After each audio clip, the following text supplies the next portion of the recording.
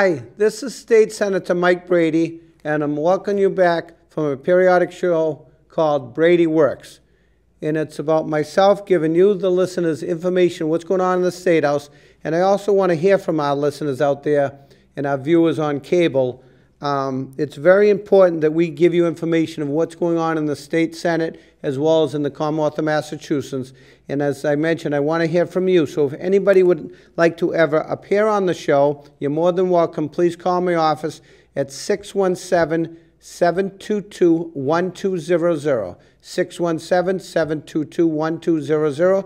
Or they can go online to michael.brady at masenate.gov. And today we're starting the show because it is June 15th, and this is going to be taped periodically, but today was World Elder Abuse Awareness Day. And that's why I have the sign here.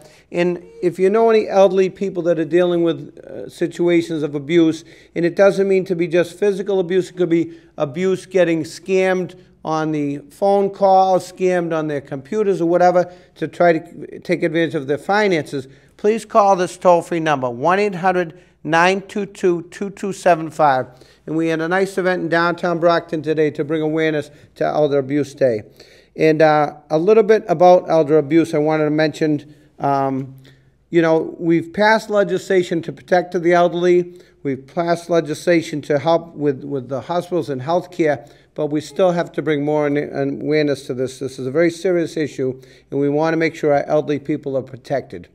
And the next thing I want to talk about is COVID extensions because over 60% of the residents of the Commonwealth of Massachusetts have gotten the vaccine uh, and please don't listen to those scams. We listen to the experts, our healthcare workers, our scientists. They are the experts. Don't fall for any false information. There is still available testing going on and also to get your vaccines. And I want to thank um, Sue Joss from the Brockton Neighborhood Health Center, who's done a yeoman's work getting vaccine distribution directly from the federal government into the Commonwealth of Massachusetts. And we've had vaccinations done up at the Shaw Center in Brockton. They've been doing a yeoman's work. Our National Guard have helped out, and they're continuing to vaccinate residents.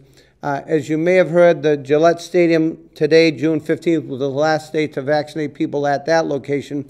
But we want to make it more easier for the residents to get vaccinated. So in Brockton, we have the uh, Shaw Center, which is up next to Campanelli Stadium, up the west side of Brockton and our veterans. The VA hospital has done a yeoman's work. I'm honored to serve on the Veterans Committee, and we just passed some veterans legislation for the soldiers home I'll get to in a minute. But the VA hospital has been doing a tremendous job going out to residents' homes, not just in Brockton, but other communities, other towns, to help get our veterans vaccinated. So it's so important we get our veterans vaccinated, and that's, in, uh, you know, there's so many people that have not still got vaccinated yet, and our young people, because just because you're young, don't feel you're immune to this deadly disease of COVID 19.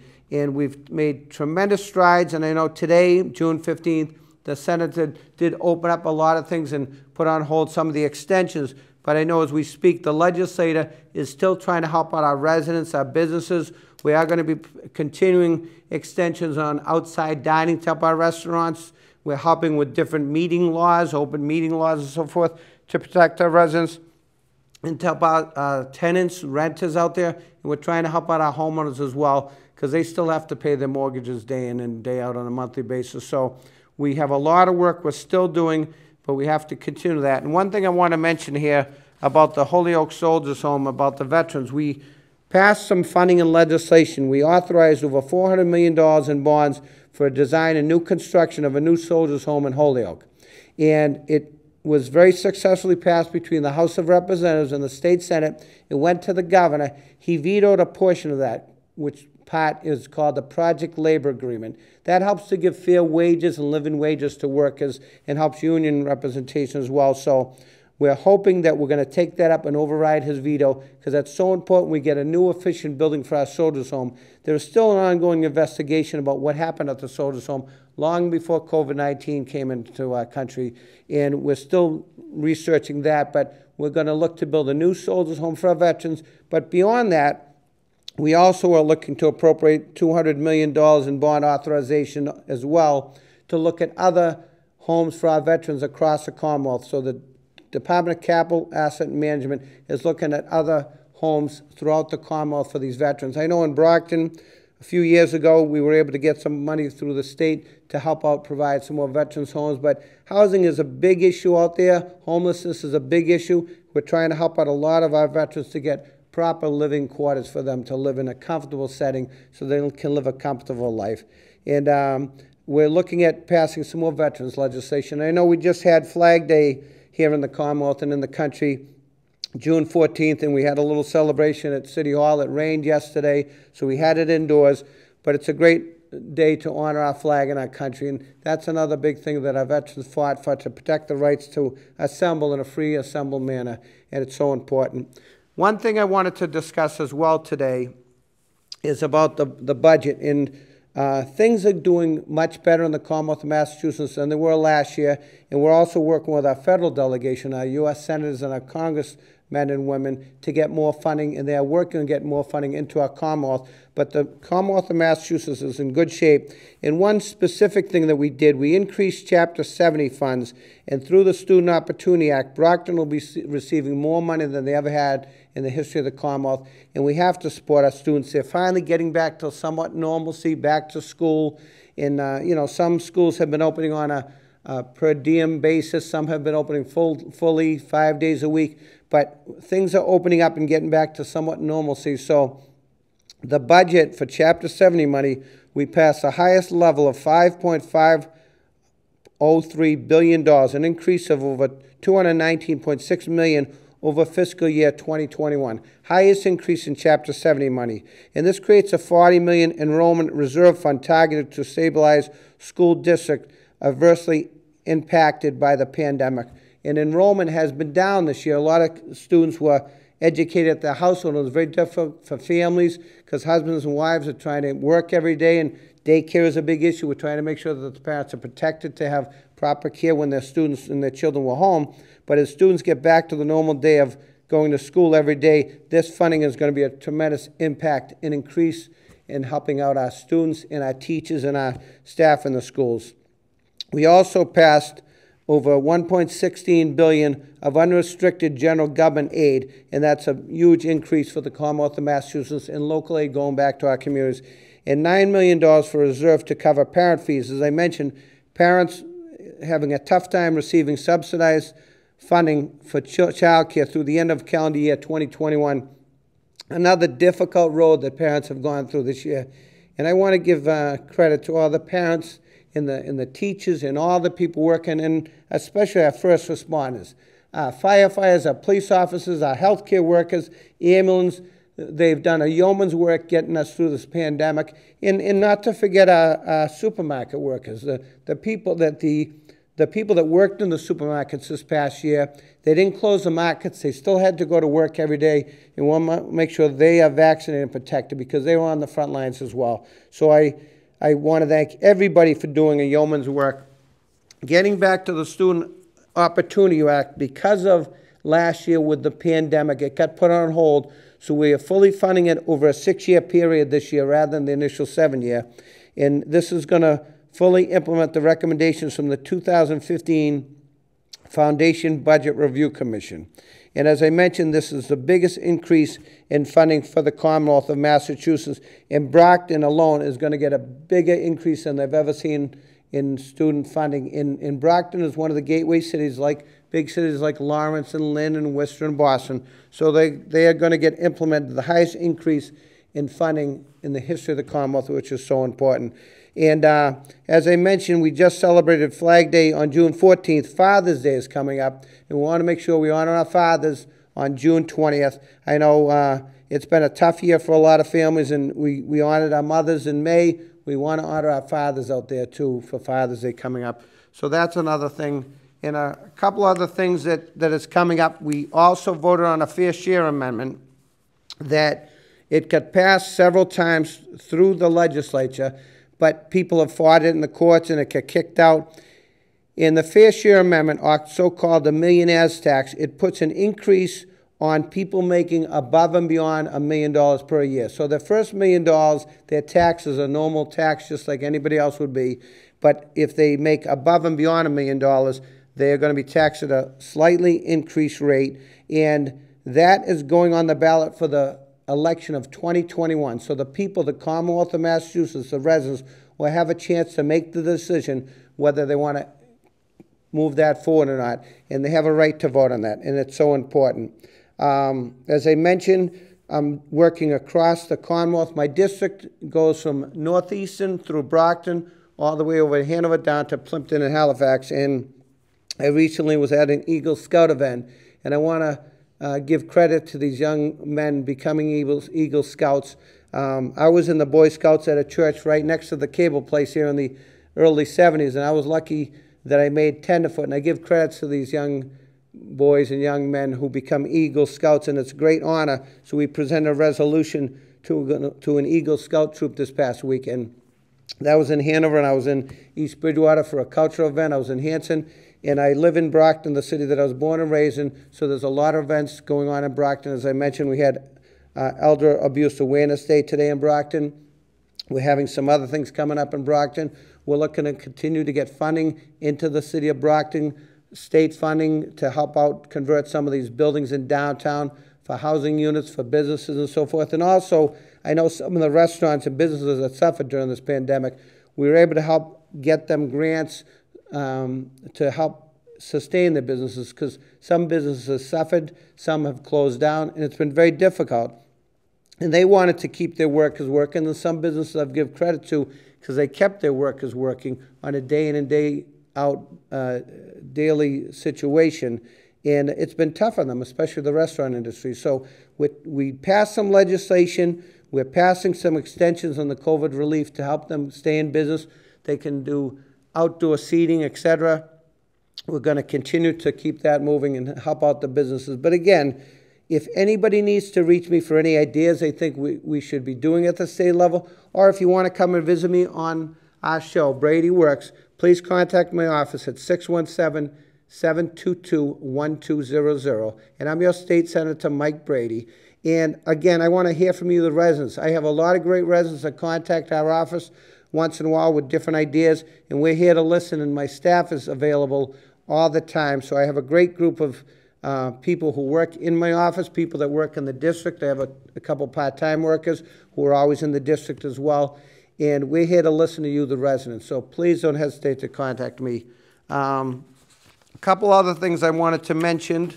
Um, I mentioned the Holyoke Soldiers Home, the budget. Um, with now the budget, just to let you know, it passed the Senate and the House of Representatives. It's in what's called the Conference Committee, and they're working out the details on that. And hopefully, we can get that sent to the governor to get this revenue. This revenue is so important. Cities like Brockton would not survive without state funding, so it's so important. And the school funding is going to be a great help, but we need other funding. You know, we're trying to do transportation bills also because our roads are in deplorable condition. And we've got funding in the past for Brockton through Chapter 90 money. We did Route 123 over. We've done road work on Main Street and other parts of the Commonwealth in, in my district. But we're looking to pass transportation bond money as well because it's so important. And we've done studies through the Old Colony Planning Council. Mary Waldron has taken over that. She's done a yeoman's work with a staff over there. They have done studies all over the South Shore District in Plymouth County and Bristol County to check out the worst intersections, the most dangerous intersections. And um, we're trying to get more proper lighting, more line designated lines and right turn only lanes, widen some of the roads, and this all comes back to funding. So we're hoping to get more funding. In this funding that we mentioned with this fair share amendment, that could go to things like that, as well as schools and under local aid and so forth. So it's so important. We're looking at things for our environment too. I do a lot of work with environmental issues. I've worked with the Sierra Group and the Environmental League of Massachusetts. We're trying to move forward and get away from fossil fuels and move forward with good, clean, renewable energy. We've done solar fields in Brockton in the past. We've done it in other parts of the community but we're looking to continue to move forward that. That's so important. And, and to get these fossil fuels out of the Commonwealth, out of the country, and move forward with solar and wind another great initiative. So that's just some of the things we're doing. Um, again, getting back to today's topic with reporting elder abuse, if anyone wants a lawn sign for that, you can contact my office at 617 722 1200. But you can also contact the Council on Aging which is 508 580 7811. And I know Janice Fitzgerald was here today. We had a little kickoff about uh, elder, elder abuse, abuse Awareness Day today. And um, also, Plymouth County Center for Active Living, again with Old Colony Elder Services. You can contact them. They are doing a great work. We want to help out our elderly population. And please be very wary of any scams out there, especially to our elderly people, because they're trying to take advantage of you. And I know it's been a very difficult road. Besides COVID, the housing market has been very difficult. I know rents have gone through the roof, and, and, and there's not much capacity for houses. The housing prices have gone through the roof which is great if you own a piece of property, but it's very difficult for people to buy a piece of property. We're also working with Mass Housing to try to get funding for first-time homebuyers initiatives. And for gateway cities, they have up to $25,000 of down payment assistance to buy a home in Brockton because they are a gateway city. In the towns that are represented outside of Brockton, they get a little bit less, but we're doing a lot of work with Mass Housing to make sure there's help to finance them and get down payment assistance on housing. So uh, Again, I want to reiterate the, the two numbers that's very important. The Council on Aging, 508-580-7811, and Old Colony Elder Services is 508-584-1561. And please, again, if you need to contact my office, I want to reiterate that number is 617-722-1200. And my email address is michael.brady at masenate.gov. Michael.brady at masenate.gov.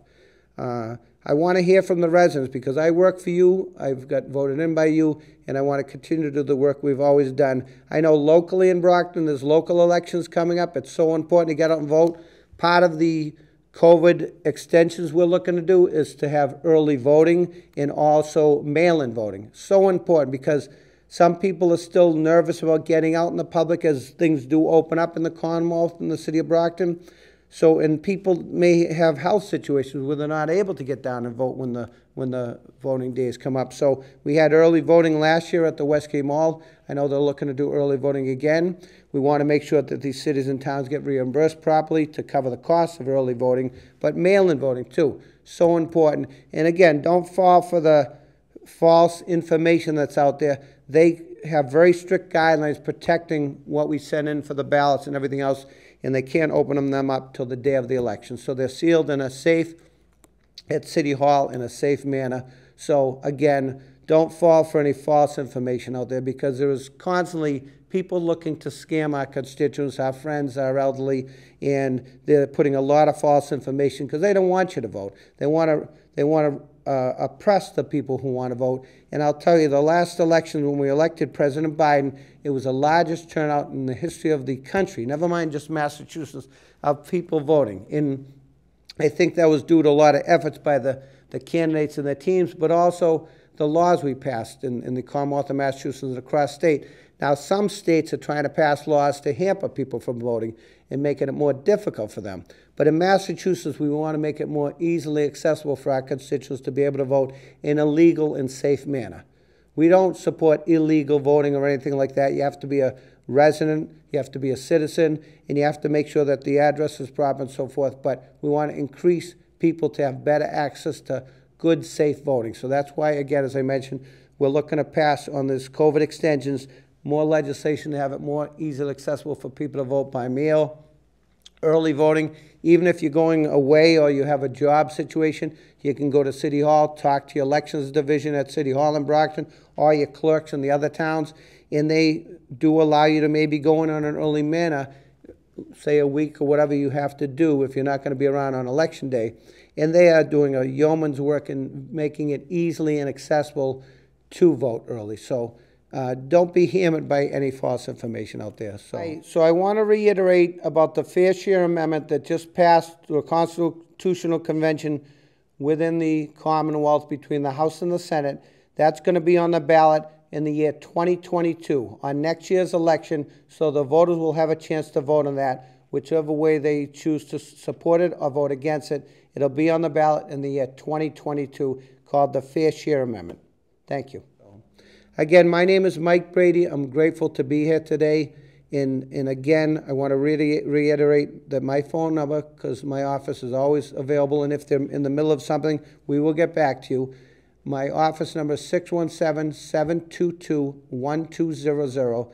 And my email address at the State House is michael.brady@masenate.gov. Another thing we've been dealing with has been unemployment issues, and I know people are still having a problem with unemployment. And that was probably 90% of the calls my office and staff got before the PPPs came available and before the vaccine supplies became more readily accessible is unemployment issues. And I know I still get calls from constituents and residents with unemployment issues. So again, if you're still dealing with unemployment issues or roadblocks or whatever, and, and, and even the RAFT program with rental assistance, please don't hesitate to contact my office. They, we are here for you. And um, I want to continue to do the best job possible for my constituents. I am very honored to be your state senator. I've been born and raised in the district. I've been here all my life. I'm a homeowner, and I know it's been very difficult for a lot of homeowners out there through this pandemic. Things are getting better, though. People are getting back to work. There is uh, opportunities for businesses to open up in, in uh, accessibility things. The parks are open. I know we got to get exercise. I got to get more exercise. Um, I actually lost weight during the pandemic because I think I was eating healthy rather than eating out at restaurants. But you know, once the restaurants open up, you put it back on. I want to help support our restaurants. But get out there while the weather gets good, get some fresh air, and enjoy yourself. And uh, we have a great community in Brockton. We have a great group of people from our local elected officials to our state delegation.